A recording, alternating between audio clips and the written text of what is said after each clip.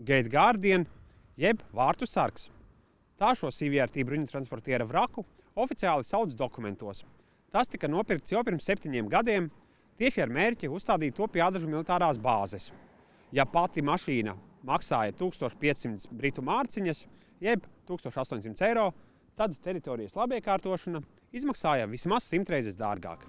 Kāda fakta skaidro aizsardzības ministrijā, 2017. gadā CVRT bruņu transportieri, kas jau bija izsmēlis savu tehnisko resursu un deaktivizēts, atveda un nodeva NBS. Ādros tas arī nostāvēja līdz šī gada oktobra sākumam, kad to līdz būvlokumam atveda un postamentā uzcēla specializētas celtnis. Pa vidu gan bija 2020. gada nogalē paustais Nacionālo bruņotu spēku apvienotā štāba lūgums iekļaut šo vides objektu aizsardzības nozares būvniecības programmā, kam sekoja divas iepirkuma procedūras - 21. gada nogalē un 23. gada pavasarī. Aizsardzības ministrs Andris Prūts no progresīvajiem apgalvo, ka par to, ka šāda militarizētās tēlniecības kompozīcija top, kā arī par tās izmaksām, esot uzzinājis tikai pagājušajā nedēļā, un uzreiz pēc tam uzsācis dienesta pārbaudi. Un kopumā gan līdz 200 tūkstoši mēs samaksājuši par vidas objektu. Nu, par gaumu nestrīdās, bet par kuru liederību noteikti ir daudz jautājumu. Es teiktu, tā, man šī brīža, manu nostāju, kāpēc tas ir ierosināts, es neuzskatu, ka tas ir liederīgi iztērēts finanšu resursus. Dienesta pārbaudas termiņš ir oktobra beigas. Jautājumi, kas jānoskaidro, kā tika pieņemti lēmumi par projekta idejas īstenošanu, projektēšanas un būvniecības iepirkumu summām un procedūrām, kā arī to izpildes kontroli.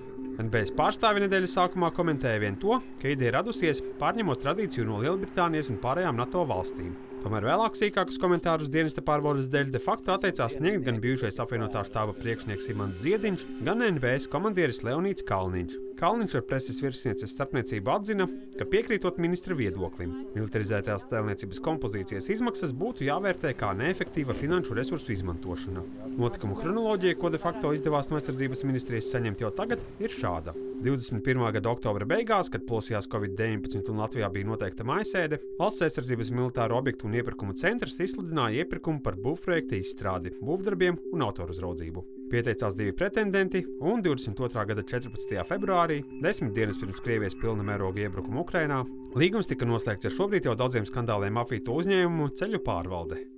Tur redzu, ka tur ceļu pārvaldē bija sākumā tas būvprojekts un arī būvniecības darbi. Bet saprotu, tur būvdarbus jūs tur neveicāt? Es neatceros, godīgi runājot. Tas sen bija, un es, es nekādus komentārus nevaru šobrīd jums iedos, diemžēl. Nu, tas līgums bija noslēgts.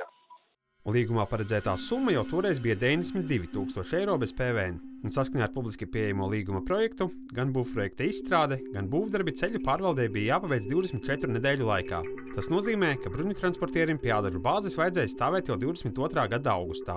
Tomēr tikai 22. gada novembra vidū militāro iepirkuma centrs kā pasūtītājs pieņēma ceļu pārvaldes apakšuzņēmēja Vertex projekti izstrādāto būvprojektu. Par to samaksāta gandrīz 25 000 eiro. Savukārt ceļu pārvalde, kurai 22. gada novembrī jau bija gandrīz 800 tūkstoši eiro liels nodokļu parāds un brieda problēmas ar konkurences padomi, tolaik paziņoja, ka nekādā veidā nevarēja paredzēt tik ievērojumu būvniecības izmaksu kāpumu un aicināja pasūtītāju vienoties vai nu par būvu izmaksu sadārdzinājumu vai līguma izbeigšanu bez soda maksājumiem. Gandrīz visu 22. gadu aizsardzības ministrs bija Artis Pabriks no Latvijas attīstībai. Viņš sarunā ar de facto vispirms stāsta, ka viņa laikā nekādas būvniecības izmaksas netika apstiprinātas, jo akceptēta tikusi viena NBS ideja. Vēlāk gan Pabriks atzīst, ka viņam par būvdarbu sākotnējām izmaksām un sadārdzinājumu nekas nesot bijis zināms.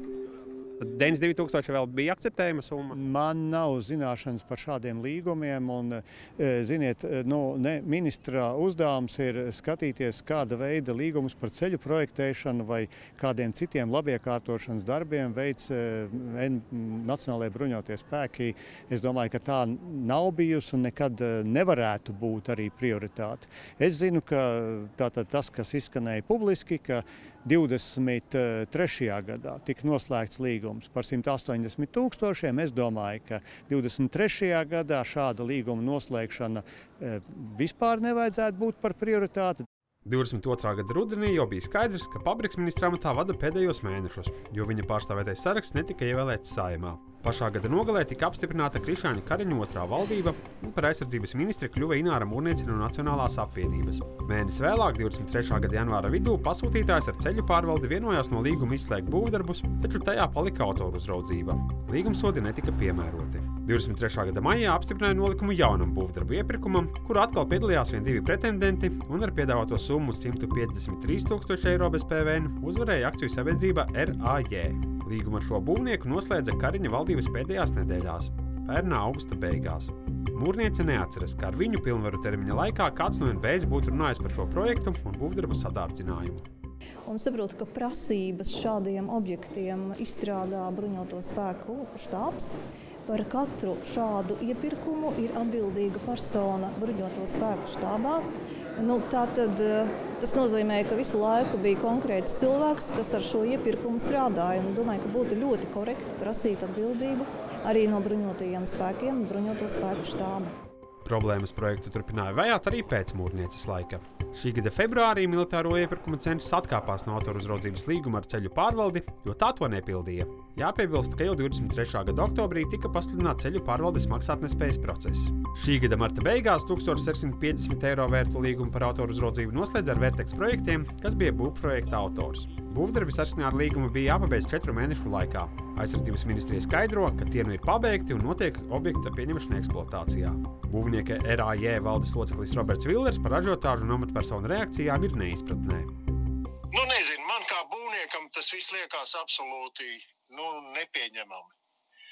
Tad gal galā, kāpēc šie cilvēki, ka mēs tur praktiski gandrīz gadu nu, ņēmāmies un darījāmies, nevienam neienāca prātā pajautāt, ko jūs šeit būvējat. Vilers apgalvo, ka viņa firma visu ir izdarījusi saskaņā ar būvprojektu, un nekādas izmaksas no viņu puses būtiski nav pārsniegtas. Viss atbilstot cenām, kuras tika iesniegtas iepirkuma konkursā.